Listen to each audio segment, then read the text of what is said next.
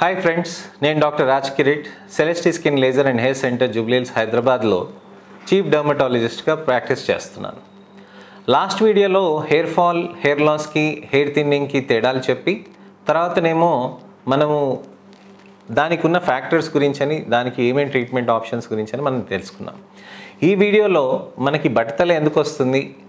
అబ్బాయి కానీ అమ్మాయి కానీ బట్టతలలు ఎలా ఉంటాయి? ఎలా ప్రోగ్రెస్ అవుతాయి? దాన్ని ఎలా టార్గెట్ చేసుకోవాలి? ఏంటి? అనే దాని గురించి అని నేను ఇవాళ ఎక్స్ప్లెయిన్ చేస్తాను.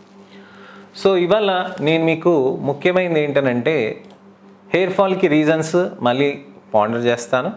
దాంట్లో జెనెటిక్స్ ఒకటి తర్వాతనేమో nutritional deficiency stress and pollution hormonal imbalance natural ageing chemical products ఎక్కువ యూజ్ చేయటం వల్ల ప్రెగ్నెన్సీ చైల్డ్ బర్త్ వల్ల దీనివల్ల కారణాలకి మనం హెయిర్ ఫాల్గా అనుకున్నాం అనమాట ఇక్కడ బాల్డ్నెస్కి ముఖ్యమైనది ఏంటంటే జెనెటిక్స్ అంటే ఆండ్రోజెనెటిక్ అలోపీసియా ఈ ఆండ్రోజెనెటిక్ అలోపీసియాలో మనకు ముఖ్యమైన తెలుసుకోవాల్సింది ఏంటంటే మగవాళ్ళకి బట్టతలలు ఎలా మారుతుంది ఎలా ట్రెండ్లో ఉంటుంది అంటే ఎలా అడ్వాన్స్ అవుతుంది అనేది మనం చూసుకోవాల్సిందే ఉంటుందన్నమాట. ఇది first level of androgenetic alopecia అంటే జస్ట్ సైడ్స్కి మీకు జస్ట్ కొనలకి కొద్ది కొద్దిగా ఇట్లా ఉంటుందన్నమాట. సో దీంతో ఏంటనంటే మనకి డెఫినెట్లీ ఇక్కడ హెయిర్ లాస్ అనేది అంటే హెయిర్ థిన్నింగ్ అనేది కనిపించేస్తుంది ఇక్కడ. హెయిర్ థిన్నింగ్ కనిపించటం వల్ల మీకు అక్కడ ఏదో జరిగింది నష్టమైంది హెయిర్ లాస్ పోయింది అని చెప్పేసి అనిపిస్తుంది. Hey grade two Norwood Hamilton దాంట్లో ఏమవుతుందనంటే ఈ వెనకాల పక్కనున్న కొనలు కొద్దిగా వెనక్కి జరుగుతాయి అన్నమాట సో ఈ వెనక్కి జరిగి కింద ఉన్న జుట్లు కూడా కొద్దిగా సన్నబడుతుంది.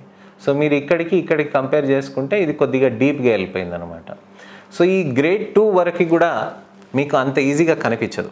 గ్రేడ్ టూ వరకు కూడా మీకు అంత ఈజీగా కనిపించకుండా గ్రేడ్ త్రీ నుంచి మీకు చాలా ప్రాబ్లం కనిపిస్తుంది. సో గ్రేడ్ త్రీలో ఏమవుతుందనంటే ఇక్కడ మీకు మొత్తం అంతా ఇట్లా వెనక్కి వెళ్తుంది అనమాట ఈ వెనక్కి వెళ్ళటం వల్ల మీకు ఇక్కడికి బాగా కనిపించేస్తుంది. అంటే సైడ్స్కి హెయిర్ లాస్ బాగా కనిపించేసి ఆ తర్వాత మీకు మాడు మొత్తం కవర్ అవుతుంది.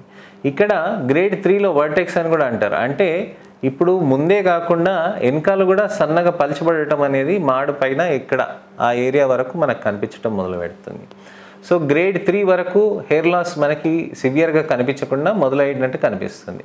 గ్రేడ్ ఫోర్లో ఏమవుతుందనంటే ఇంకా వెనక్కి వెళ్ళి అంటే మీరు ఇక్కడ చూస్తున్నారు కదా ఇంకా వెనక్కి వెళ్ళిపోతూ ముందు కూడా క్లియర్ అవుతూ తర్వాతనేమో ఈ వర్టెక్స్లో ఎక్కువగా కనిపించటం ఎక్కువగా స్ప్రెడ్ కావటం అనేది కనిపిస్తుంది.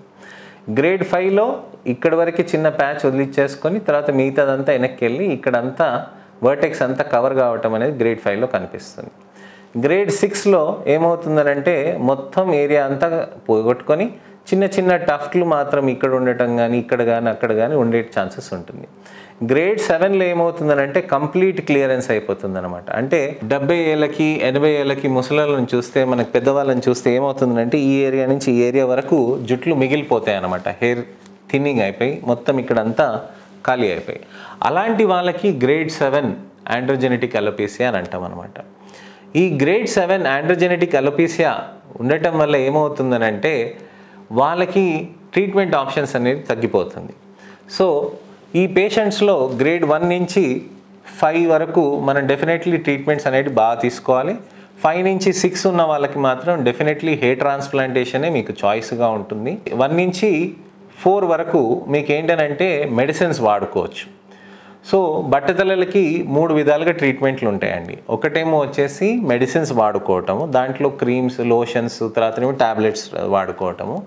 రెండోది వచ్చేసి పిఆర్పి అంటే ప్లేట్లెట్ రిచ్ ప్లాస్మా కానివ్వండి మీసో సొల్యూషన్స్ తోటి థెరపీస్ కానివ్వండి. అది కాకుండా మూడోది hair transplantation so hair transplantation అనేది ఏం చేస్తామనంటే జుట్లు ఇక్కడ తీసి ఇక్కడ పెడతామన్నమాట. సో గ్రేడ్ త్రీ నుంచి గ్రేడ్ సిక్స్ వరకు హెయిర్ ట్రాన్స్ప్లాంటేషన్స్ అనేటివి చాలా బాగా హెల్ప్ చేస్తాయి. కొంతమంది యంగ్స్టర్స్లో గ్రేడ్ సెవెన్లో కూడా మనం హెయిర్ ట్రాన్స్ప్లాంట్స్ చేయాల్సిన పరిస్థితి ఉంటుంది. వాళ్ళకి స్ట్రిప్ టెక్నిక్ కానీ ఎఫ్యూ టెక్నిక్స్ కానీ చేసి వాళ్ళకి డెఫినెట్లీ ట్రాన్స్ప్లాంటేషన్స్ చేయొచ్చండి. సో మనకి మగవాళ్ళలో బట్టతలలు ఎలా వస్తుంది? ఎందుకు వచ్చింది దాని వచ్చిన దాని గ్రేడ్స్ ఏంటి? మీ గ్రేడ్స్ ప్రకారంగా ట్రీట్మెంట్ ఆప్షన్స్ ఏంటి? అనేది మీకు ఎక్స్ప్లెయిన్ చేశాను. నేను మీ doctor Raj Kirit Celestee skin laser and hair centre Jubilee Hills హైదరాబాద్లో చీఫ్ డర్మటాలజిస్ట్గా ప్రాక్టీస్ చేస్తున్నాను. Thank you